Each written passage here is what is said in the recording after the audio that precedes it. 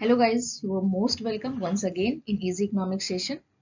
And in today's video, I'm going to discuss Ricardo theory of international trade, a very important theory in macroeconomics. And I think uh, most of the students feel it very difficult. So I'm going to explain it in very easy manner so that you can understand it easily and you will be able to write properly in your examination. So we'll see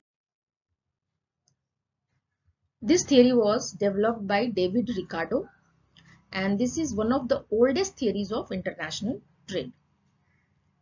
This theory is also known as comparative cost advantage theory and it was published in 1817 in the very famous book of David Ricardo that is Principles of Political Economy and Taxation. According to Ricardo theory. Other things being equal, a country tends to specialize in and export those commodities in the production of which it has maximum comparative cost advantage or minimum comparative disadvantage. Similarly, the country will import goods having relatively greater cost disadvantage. The whole theory is explained in this particular statement. What does it mean? In simple words, we can say a country will produce and export that commodity which is comparatively cheaper to produce and import those commodities which is relatively expensive to produce in home country.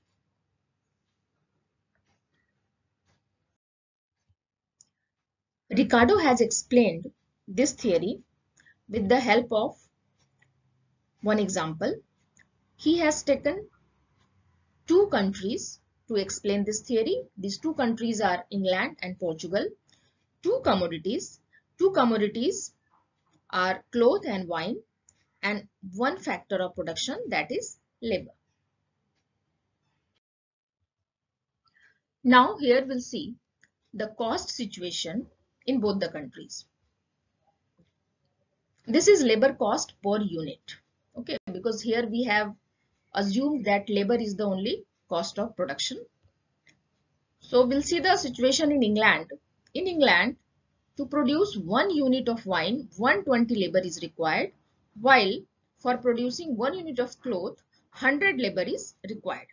At the same time in portugal 80 labor is required to produce one unit of wine and 90 labor is required to produce one unit of cloth. If we see carefully then we can say England has absolute disadvantage in producing both the commodities. Why so? Because for both the commodities, England requires more number of labor as compared to Portugal. So Portugal has absolute disadvantage, sorry, absolute advantage in producing both the commodities because here comparatively less labor is required to produce both the commodities. Okay, so in this situation, you can say that uh, how the international trade is possible. It is not possible because England, in England, both the commodities will be expensive and in Portugal, both the commodities are less expensive.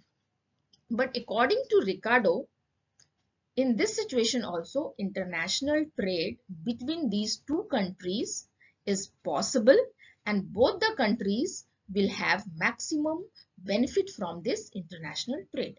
How this is possible, we'll see further.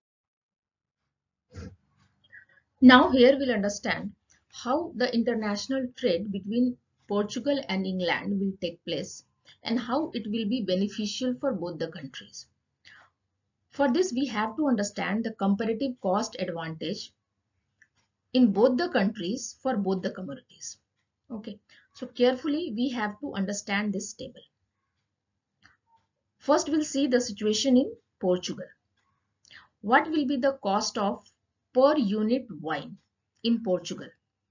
So the cost of per unit wine in Portugal will be 80 upon 120 is equal to 0.66.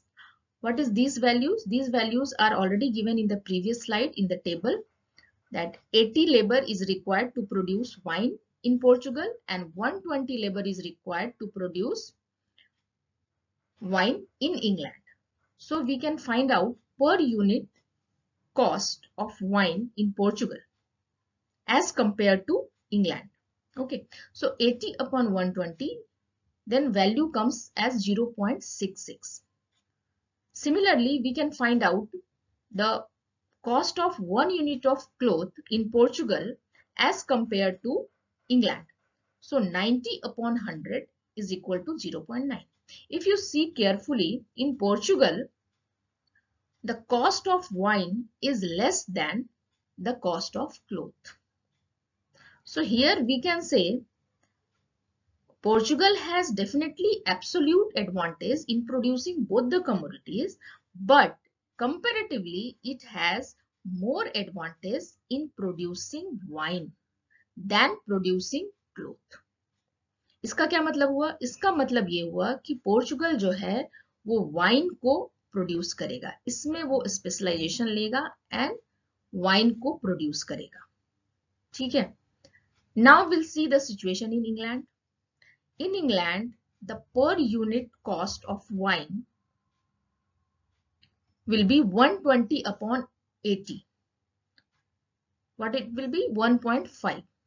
So per unit cost of wine as compared to Portugal, in England, the cost is 1.5 while the cost of producing one unit of cloth will be 100 upon 90 it is 1.11 so here also you can see that cost of wine is greater than cost of cloth in England मतलब England में दोनों ही community को produce करना absolutely disadvantageous है already we have discussed in the previous slide कि England में दोनों ही कमोडिटी को प्रोड्यूस करना पोर्चुगल से कंपेरेटिवली महँगा है। बट जब हम यहाँ पे कंपेयर करते हैं पोर्चुगल से तो फिर हमको ये पता चलता है कि इंग्लैंड में क्लोथ प्रोड्यूस करना वाइन प्रोड्यूस करने से ज़्यादा चीपर है। ठीक है? तो इसका मतलब हुआ कि इंग्लैंड को क्या प्रोड्यूस करना चाहिए? क्लोथ इंग्लैंड को क्लोथ प्रोड्यूस करना चाहिए एंड पोर्चुगल को वाइन प्रोड्यूस करना चाहिए। Okay so portugal has advantage of lower cost in both the commodities we have already seen in the previous table but comparative advantage is greater in wine मतलब Portugal में दोनों ही goods produce करना cheaper है but comparatively wine produce करना और भी cheaper है ठीक है वाइल इंग्लैंड में दोनों ही प्रोड्यूस करना दोनों ही कम्युनिटी प्रोड्यूस करना महँगा है डिसएडवांटेज है बट कंपेरेटिवली अगर देखा जाए तो इसको वाइन प्रोड्यूस करने में ज़्यादा डिसएडवांटेज है। इसका मतलब हुआ कि इंग्लैंड में क्लोथ प्रोड्यूस करना कंपेरेटिवली चीपर है। So what is the conclusion now Portugal specialises in wine where it has greater comparative advantage, and England specializes in cloth where it has minimum comparative disadvantage. Okay, so in this way, Ricardo proved that comparative cost difference is the base for specialization and trade.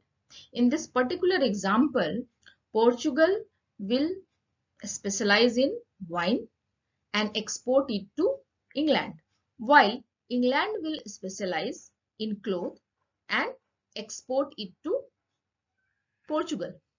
So Portugal will export wine, import cloth from England. England will export cloth and import wine from Portugal. So in this situation, both the countries will have maximum benefit from international trade and both the countries will be in win-win situation. So this is the basis for international trade as explained by Professor Ricardo. And at present also we follow some to some extent this theory in the international trade market. Okay, hope you have understood this theory. Thank you very much. Have a nice day.